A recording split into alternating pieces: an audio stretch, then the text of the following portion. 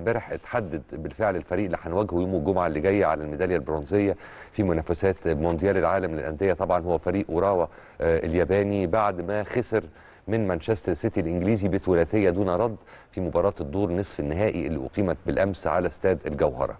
شفنا الماتش مع بعض شفنا أداء الفريق الياباني شفنا السرعات الكبيرة اللي عنده شفنا كمان نفس الأداء ده في المباراة الأولى اللي لعبها أمام ليون المكسيكي عشان كده هنتكلم سريعا ونحاول نقرب الناس أكتر من الفريق ده اللي يمكن مش كتير مننا كان سمع عنه قبل كده.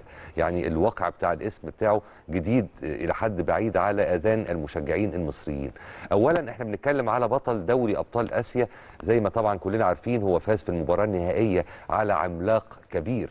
هو نادي الهلال السعودي. تعادل معاه في مباراة الذهاب في السعودية واحد واحد وفاز في اليابان بهدف دون رد وحقق لقب البطولة. وقبل كده كمان في الدور نصف النهائي تخطى فريق قوي جدا في آسيا هو فريق هيونداي موتورز الكوري. فاحنا بنتكلم على فريق بيتميز بسرعات عالية. الفكر بقى نظام ال robots إحنا بنتكلم على robots يعني مم. إنسان آلي ياباني فبرضه برضه الماتش السنة مش سهل. الياباني آه والله.